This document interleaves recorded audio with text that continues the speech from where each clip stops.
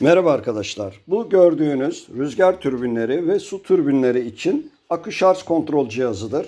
Gücü ise 24 volt 70 amper maksimum 80 amperdir.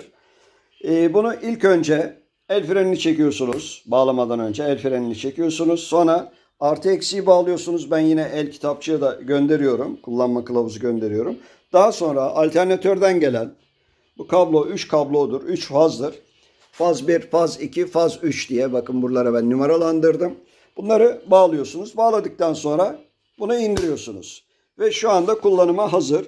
Kırmızı ışık şarj ediyorum veya e, şarj edeceğim, bekliyorum anlamındadır.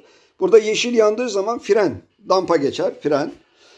Bu rüzgar türbününde şöyle göstereyim. Şimdi alternatörü çalıştırayım. Bakın voltaj yavaş yavaş artmakta.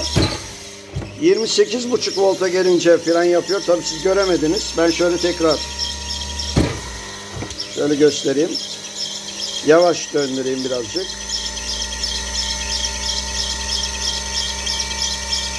Yirmi altı, yirmi yedi. Bakın. Biraz hızlandırayım. Yirmi sekiz buçukta.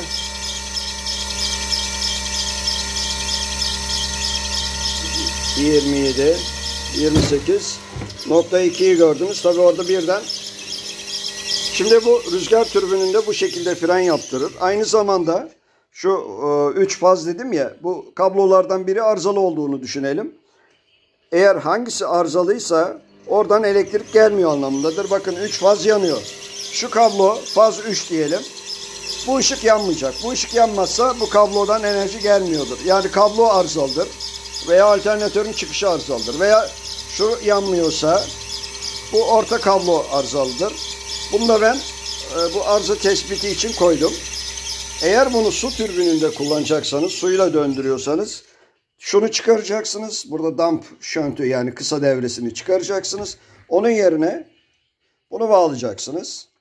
Ve aynı zamanda rezistans vardır. Bu rezistansı da su dolu plastik kaba veya cam kavanoz içerisinde koyacaksınız. Bu da su türbinleri için e, fren yaptırır. Tabi bu rüzgar türbini için bunu kullanmayacaksınız. Su türbini için bunu kullanacaksınız. Bu ayrı. E, bunun bedeli ayrıdır. Onu da özellikle söyleyeyim. Ama siz de kendinizde yapmak isterseniz şöyle 3000 wattlık e, UFO rezistans telinden e, belirli bir 3 e, ohm 4 ohm keserek kendiniz de yapabilirsiniz. Onu da özellikle izah edip Evet, su türbünü ve rüzgar türbünleri için bunu kullanabilirsiniz. Ayrıca şunu da söyleyeyim. Haberlerde e, söylemektedir. İşte akşam fırtına bekleniyor veya yarın fırtına bekleniyor. Siz uzaktaysanız veya koruma altına alacaksanız neyi koruyacaksınız? Kanatlar kırılmasın diye rüzgarda. Akünüz e, zarar görmesin, alternatörünüz zarar görmesin diye bunu fren yaparsınız. Manuel fren yaparsınız. Dolayısıyla o gün tabii şarj etmez. E, korumuş olursunuz. Bakın şöyle bir gösteri yapayım. Örneğin alternatör dönüyor. Bakın ben çektim el freni şu anda dönmüyor. Yani dönse de az dönecektir. Koruyor. Bakın indirdim dönmeye başladı. Kaldırıyorum. Bu manuel. Bu haberlerde kendinizi manuel olarak korumak için. Evet isteyen arkadaşlara gönderebilirim. Hayırlı uğurlu olsun diyorum.